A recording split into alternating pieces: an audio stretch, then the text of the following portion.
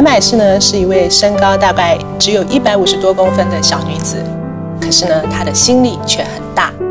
她原来是一间知名广告公司的文案，但是厌倦了每天绞尽脑汁销售不同的商品，她放下了她的工作，绕了大半个台湾去关心这一片土地。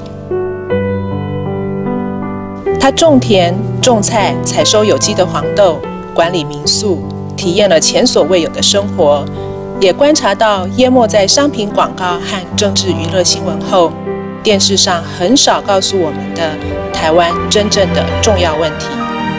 他把这段观察和心得以诙谐的笔调写成了这本隐藏着严肃议题的书《企业日记》。